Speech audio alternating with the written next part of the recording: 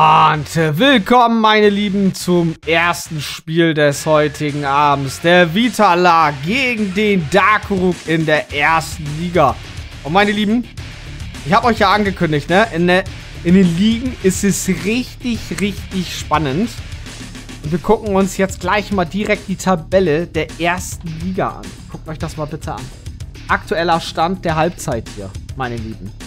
Sunny so der sogenannte Herbstmeister jetzt. Oh, gleich abgebrochen die Zap. Danke dir, Heiko. Sunny aktuell Herbstmeister mit 34 Zählern. Ungeschlagen in dieser Saison. Unglaublich. Aber hier geht's um Vitala und um den Darkuruk. Und der Darkuruk auf Platz 7 teilt sich den Platz mit dem Notfallplan aktuell mit drei Siegen, fünf Unentschieden, vier Niederlagen, 21 Punkten. Und der Vitala auf Platz 10 mit 12 Spielen, 4 Siegen, 0 Unentschieden, noch kein Unentschieden erreicht, 8 Niederlagen mit 20 Zehnern.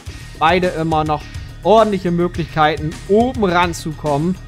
Und nur unten, da sieht es ein bisschen lichter los. Rammert, du musst um deinen Klassenerhalt kämpfen, mein Lieber. Sehe ich schon. Lass uns losgehen, ab ins Match. Und uns das Match mal anschauen, wie es um den beiden bestellt ist.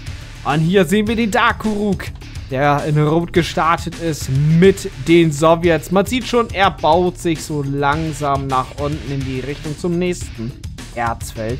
Und Vitala aktuell mit der besseren Position. Auf jeden Fall die bessere Startposition links hier in Gelb mit den Alliierten. Und da muss ich sagen, der hat es richtig gut. Er kommt genauso schnell, in Anführungsstrichen, wieder äh, Darkroot zum Erzfeld. Er hat nur einen Vorteil. Und das haben wir am Freitag im Bootcamp ja schön gut gesehen. Was haben wir daraus gelernt? Dass die mittlere Position bei solch einer Map zum Beispiel die bessere ist, weil man schon eine vorhandene Frontbase hier hat. Man kann sich viel leichter nach hinten expandieren oder nach hinten fallen lassen und Ruhe haben. Und zu Anfangs hier schon eine ordentliche Dev aufbauen mit dieser äh, Frontbase, die eigentlich die Mainbase ist. Und das hat sich rausgestellt bei vielen, vielen Spielen, dass das ein klarer Vorteil sein kann. Nicht immer, aber kann.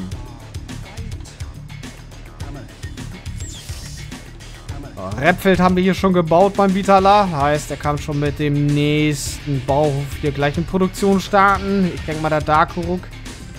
Hm, müssen wir mal gucken. Jetzt hat er erst Repfeld gebaut. Also aktuell kleiner Zeitvorsprung von dem Vitala. Und mit den verkauften Repfeld hat er ein paar Einheiten zur Verfügung gestellt bekommen. Die entsendet er jetzt gerade zum Scouten. Einmal nach oben und zweimal nach oben. Da ist Darkrook im Übrigen auch. Ah, das habe ich wahrgenommen, dass hier der Vitala sich gerade nach oben baut. Aber jetzt dürfte er es gleich sehen.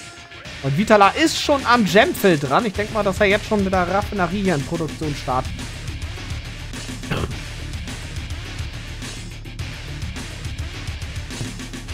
Mal sehen, wer zuerst die Raff hat. Ich denke mal, das wird... Oh, nee, das wird äh, Vitala sein. Okay, weil Daku ist erst aufs Radar gekommen. Problem bei solch einer geschlängelten Formation ist, man ist bereit angreifbar. Also egal, wo du reinfährst, du kannst den Gegner ordentlich Schaden hier einkassieren. Da muss man schon gut da äh, aufgestellt sein. Da ist die Position von Vitala besser. Also deutlich, aufgrund dieser, dieser engen Geschichte. Er hat sich nämlich hier nur ein bisschen weggeschlängelt. Wobei, es ist fast dasselbe bei denen. Nur optisch gesehen hat er hier, er hat die breitere Front hier. Wobei, wenn man sich das hier unten mal anschaut, ist hier auch noch eine Front, auf das gleicht sich. Da kommt auch der nächste Bauhof vom Vitala. Und Darkrook hat den tatsächlich doch zuerst stehen. Dann erstmal wirklich auf die Raff. Die Raff ist jetzt zuerst beim Vitala da gewesen. Bei Darkrook kam die erst danach. Und beide mit ordentlichem Money Boost. Und unten. Uiuiui, die dritte. Die dritte, okay, das war die dritte da oben. Das war die zweite hier. Der ist fix unterwegs. Da kommt aber auch Darkroom im dritten Bauhof. Und schickt auch schon so ein paar Schützen hier übers Feld. Äh, links 2, 3, 4, links 2, 3, 4. Äh, lauf mal los. Uh, nächste Raff. Perfekt positioniert. Schön da vorgestellt. Ah, das gibt gleich ordentlich Money Boost hier beim Vitala. Darkrug aktuell nur mit einem Gemfeld in Belagerung. Und wenn man jetzt mal unten schaut, ist der Vitala hier mit dem Bau auch beim nächsten Gemfeld. Und der Darkrug, der will nämlich auch dahin. Der will auch dahin. Der baut, denke ich mal, hier zwischendurch mal eine Raff und fährt weiter. Oder er lässt die stehen, aber ich denke mal, ja, guck mal, daran vorbeigesegelt. Und ja, genau, nicht mit dem MBF. Das ist ein ganz, ganz großer Fehler. Macht das bitte nie mit den MBF. Die Wahrscheinlichkeit hat sich in letzter Zeit ziemlich als hoch erwiesen, dass man mit den MBF auf eine Explosionskiste äh, kommt. Aber in dem Sinne war es jetzt nicht. Da wurde aufgepasst. In der Kiste war ein schwerer Panzer. Und hier oben links, guckt euch das mal an, der Vitala hat sich oben auch ordentlich bereit gemacht. Er steht gut da, der Vitala. Darkrug aber jetzt mittlerweile gefühlt ein bisschen besser defensiv gestellt. Ja, er könnte hier ordentlich verteidigen. Er hat hier auch eine Kaserne schon. Hier eine Waffenfabrik. Hier oben. Na gut, haben wir auch eine Kaserne bei Vitala. Und auch hier unten hat er ja schon eine Waffenfabrik.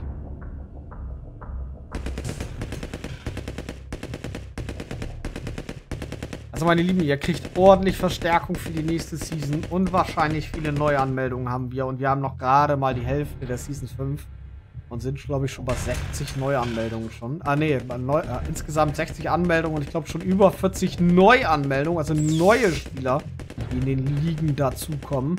Das geht, das geht wahrscheinlich zur Herbstseason richtig ab bei uns. Und da sind auch sehr, sehr viele starke Sowjetspieler. Und oh, gut gemacht vom Darkuruk. Ja, völlig erlaubt, alles super. Und setzt auch gleich hier einen Flammturm. Das macht er gut. Ah, gleich die dicke Brust zeigen. Hier kommst du nicht durch, mein Lieber. Und auch von beiden Seiten gleich im Twix-Format hier. Das nennt man Sandwich. Eieiei, das ist, das ist fies. Und er produziert immer noch fleißig raus. Ich glaube, jetzt hat er gerade aufgehört. Sorry, leider erlaubt. Finde ich gut. So, und Wetten gibt's, meine Lieben. Laufen jetzt noch aktuell zweieinhalb Minuten. Ja, und Vitala weiß hier unten schon Bescheid. Er sollte aber allerdings mal hier oben ein bisschen Gas geben, denn da macht sich Darkuruk hier schon auf den Weg. Und wenn man sich das mal anschaut, wie der Vitala hier gerade schon steht, da produziert auch schon ein bisschen was. Aber auch aktuell nur Infanteristen. Und hier ist alles offen. Da kann Darkuruk ziemlich leicht rein. Ich vermute aber, dass Vitala durch die falsche Seite hier rein möchte. Ich würde gar nicht hier probieren. Da setzt er nämlich jetzt noch Verteidigung auf. Aktuell aber noch keine Waffenfabrik hier, also kann hier noch keine Panzer zur Verstärkung hinstellen.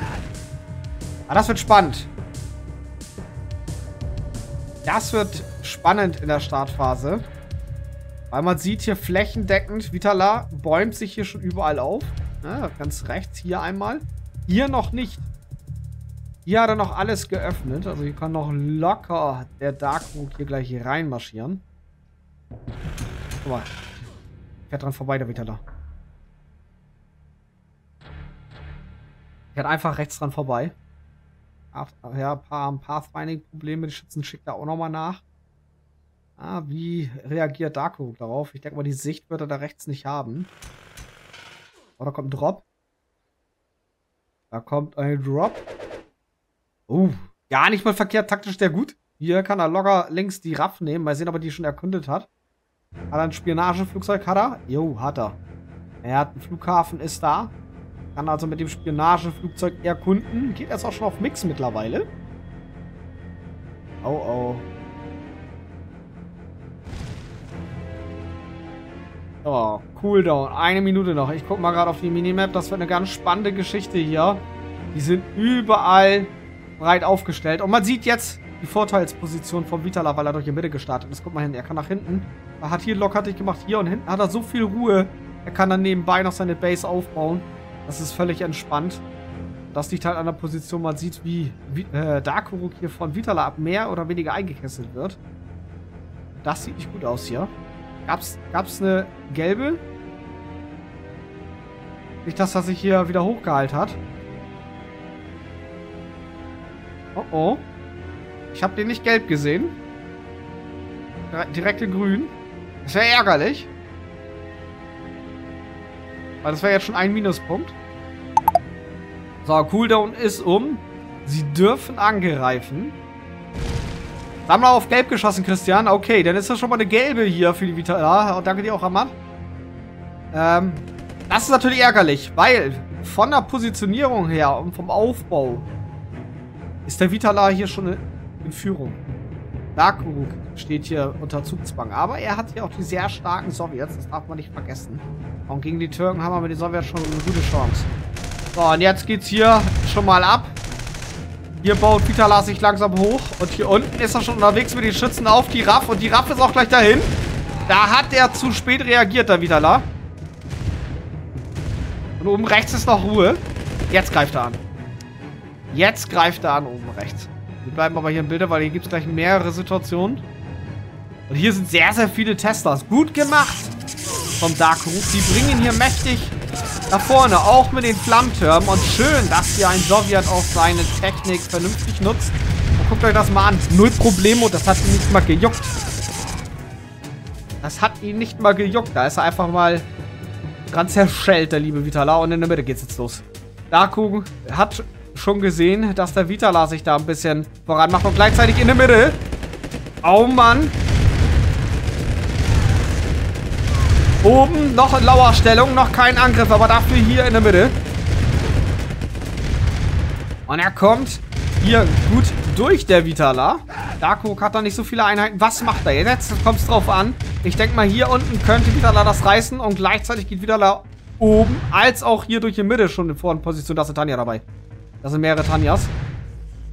Oh, das könnte eine Bombenstimmung hier werden. Und hier, da kommt Darko mit Verstärkung.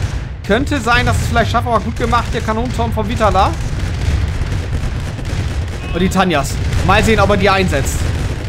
Er hat die Chance, die Tanjas einzusetzen. Das sieht nicht aus. Das sieht nicht gut aus für die Dark Darkuruk. Ja, jetzt hat er sich entschieden, hier in der Mitte mehr zu verstärken. Hat nachträglich noch einige schwere Panzer hin. Und hier oben. Oh, oh, oh. Mal sehen. Ja, er reagiert mit den Tanjas. Kriegt sie ein bisschen vor. Gleich auf die Waffenfabrik. Schön gemacht. Vom Vitala. Oh, oh, oh. Jetzt kriegt der Darkus langsam Probleme. Er hat hier die stärkeren Panzereinheiten. Könnte ohne Probleme hier locker deffen, aber er kann sich nicht so zerteilen. Jetzt hat er aber hier unten durch die Verstärkung hier auf jeden Fall die Lage sicher. Nur hier oben wird es jetzt schwierig. Nein. Da greift er nochmal an hier. Nächster Baudown hier vom Darkrug. Und auch hier in der Mitte braut sich wieder was Neues zusammen. Das nimmt gar nicht ab hier. So, das dürfte auch hier Geschichte sein. Da versucht Darkhook noch was nach vorne zu schicken. Hier muss er dicht halten. In der Base hat er auch noch zwei Panzer, die noch rumwüten.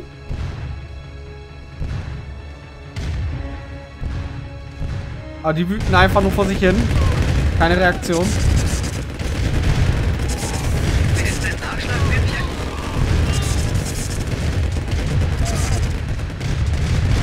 Und das sieht nicht gut aus. Hier dürfte Darkhook das zwar noch ein bisschen schaffen hier. Aber hier kriegt Vitala Überhand. Und auch in der Base. Mein Radar ist gleich weg, ne? Also, äh, ich glaube, der hat kein Backup. Ne, er hat gar kein Backup. Kein Backup. Also Radar ist jetzt weg. Das kostet ihm jetzt richtig ordentlich die Sicht. Sind nochmal ein paar Schützen. Einfach platt gewalzt. Und Vitala. Er ist gut in Form heute. Das sieht man ihn richtig an.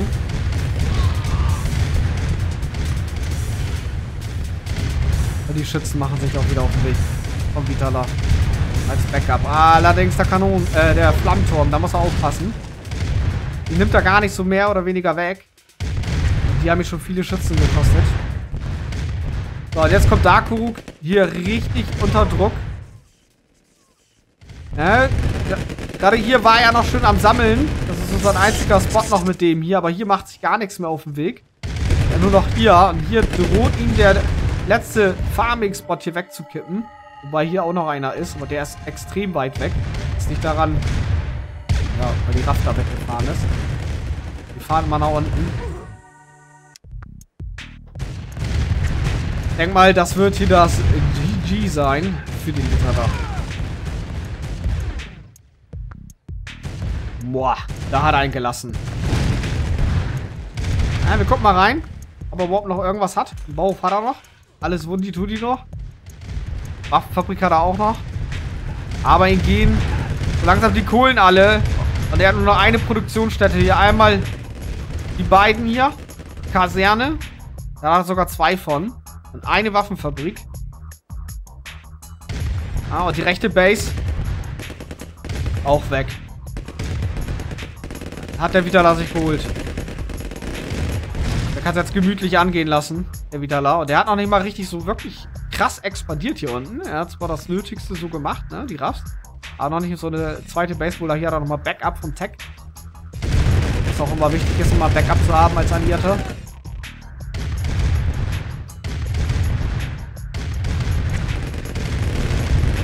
Also dann nochmal auf mehreren Positionen rein. Hier nochmal oben rechts, da oben links kommt er auch nochmal mit Verstärkung.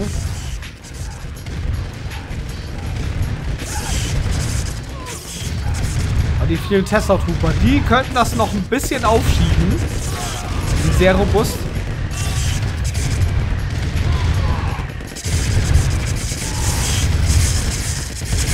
Aber sie halten nicht mehr die Zerstörung der Waffenfabrik auf. Das schafft er nicht. Und unten macht sich Itala auch auf dem Weg. Mit seinem Trupp, mit dem er hier die Base rausgenommen hat. Das, was übrig geblieben ist.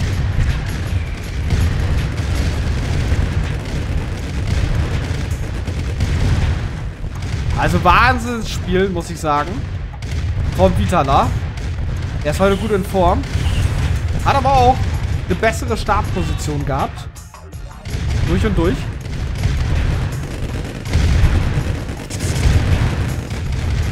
Ist hier nämlich gestartet auf der linken Position in der Mitte. Der Dark hier oben.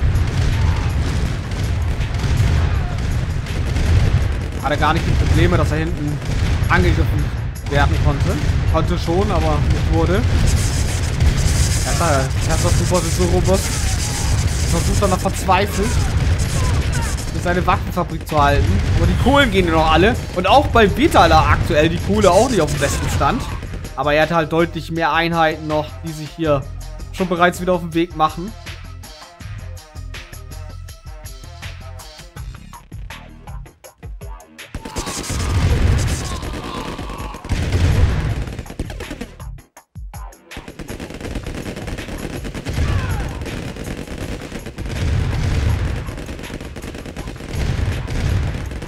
Da haben die Tastatur noch alles rausgerissen. Aber sowas von. Sind aber auch alle, alle über Order gegangen. Und jetzt kommt er. Der Vitala mit der Verstärkung. Auch von unten. Kommt auch einiges jetzt nach. Da produziert er. Hat er jetzt auf Master gesetzt hier. Die Waffenfabrik. Kommt aber mit der linken Breitseite hier.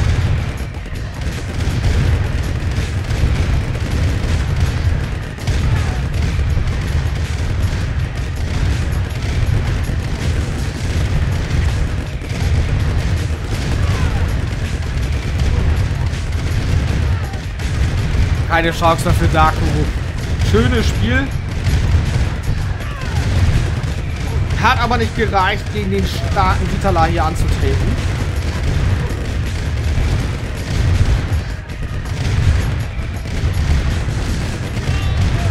Auch die Option des Bau, eine weitere Bau ist jetzt dahin. Wobei, nein, da hat er noch die Waffenfabrik.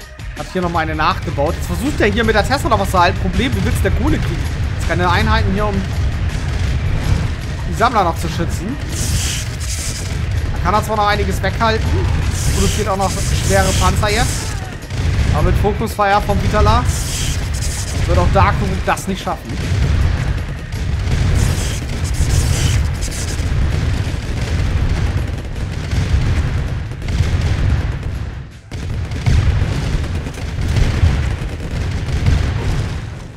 Und so langsam frisst sich der gelbe Zahn hier durch.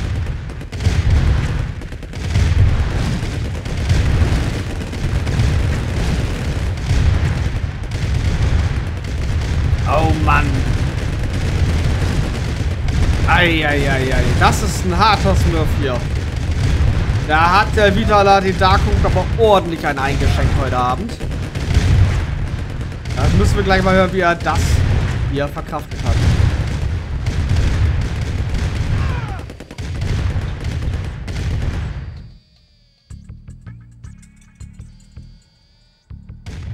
So, letzte Einheiten werden rausgenommen, so meine Lieben. Blenden wir mal die Tabelle ein. Jetzt sehen wir mal, was jetzt hier gleich passiert. Also, der Vitalab bekommt nochmal drei Punkte oben drauf. Und nistet sich hinter, hinter den Insta ein. Insta mittlerweile schon mit fünf Niederlagen diese Saison. Ein paar Einbrüche gehabt.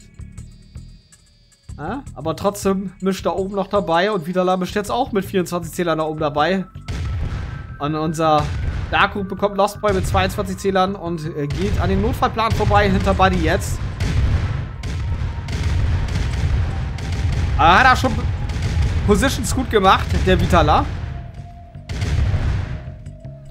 Aber Dark, Darkuruk ist ein sehr, sehr starker Sowjetspieler, da brauche brauch ich nicht zu sagen. Nur die Position, denke ich mal, auch mit den Türken, das hat ihn jetzt so ein bisschen das Genick gebrochen. Er hatte eine ordentliche Stärke. Er war hier an der Front, die hier war. War er nicht stark genug vertreten. Da hat er sich zu spät drauf konzentriert. Er ist zu weit nach in die Offensive hier schon oben gegangen. Und das hätte er nicht machen dürfen. Dann, ähm, denke ich mal, hätte er das abwehren können. Und wie sich das dann weiterentwickelt hätte, das steht in den Sternen. So, das Opening ist hier gelaufen für heute Abend. Das ist hier ein GG für die Vitala. Ich weiß gar nicht, wo die letzte Einheit ist. Wo ist denn die letzte Einheit? Sag mal, ist das ein Spion oder was? Oder seht ihr die? Wo ist denn die letzte Einheit? Wer findet, darf ihn behalten. Ich sehe den nicht. Da irgendwo... Also ich sehe nichts mehr Rotes. Doch, da. Guck mal, weg. Weg ist er. Das ist GG. Komm, wir holen jetzt die, mal die beiden. Alles war mhm. Hi. Hallo. Hi. Na, meine Lieben. Wie war das Match? Chaotisch. Hat nichts geklappt. ja, das war aber das war aber auch echt schwierig, ne? Ja. Die äh, Position vom Vitala war auch mega vorteilhaft. Der ist nämlich ja, links ja. in der Mitte gestartet. Oh, links in der Mitte oder Schweinehund? Ja, und das hatten wir am Freitag im Bootcamp das Thema. Ähm, dass sich das natürlich äh, sehr lohnt, wenn man auf solch einer Position startet. Also, nee, wir gucken uns mal eben ganz kurz nochmal die Stats an hier. Da sehen wir auch schon die coolen. Dadurch, dass Vitala nämlich unten sehr schnell an den Gemfeld dran war, an beiden im Übrigen, Guckt mhm. euch das mhm. mal an, da seht ihr schon gravierend den Unterschied. Das ist schon echt heftig. Und das hat dir diesen Boost auch noch gegeben, ne? Ich, ich konnte nicht mal meine Verteidigung aufbauen. da war nee. überall alles offen. Ich bin, ich bin aber felsenfest davon überzeugt, die Stärke hattest du, um dagegen anzukommen. Also die hattest du auf jeden Fall. Aber ja, dann, ja, ja. Ich bin Allerdings, so geworden. Alles nee, durcheinander gewesen. Ich wäre auch nervös geworden, wenn er von beiden Seiten reinkam. Der kam ja von beiden Seiten. Und noch äh. von drei Seiten sogar. Oben rechts, dann links Mitte und dann von unten in der Mitte, ne? Ja, da hat der Vitala richtig einen reingesemmelt. Oh Mann, Vitala, was hast du mit dem Darkhook heute gemacht? ja, das soll ja ein guter Start werden in die Rückrunde, ne? Ja, das ist ein richtig guter Start. Also, das, so kann's losgehen. Du bist jetzt übrigens hinter den Insta. Mit 24 ja, Zählern. Cool. Also, ich glaube, ich, glaub, ich habe einmal zu früh angegriffen, oder? Kann das sein? Ähm, ja, ja, es hat. Äh, nee, Vitala war das. War das. Nee, da, da, du warst das, genau. Du warst das. Oh, das gibt ja noch keinen Punkt. Das ist sogar ein Zero-Point. Ja, Auto. das ist egal, das ist wurscht. Eieieiei. mal passieren. Da muss ich sogar noch korrigieren. Da kriegt er sogar noch jemand Lost Point. Der kriegt ja sogar null Punkte. Weil er hat ja äh, eine gelbe geholt, ne? Eieiei. Ah, vielen Dank fürs Spiel und auch mal Chichi ja, hier, Andi Vitala.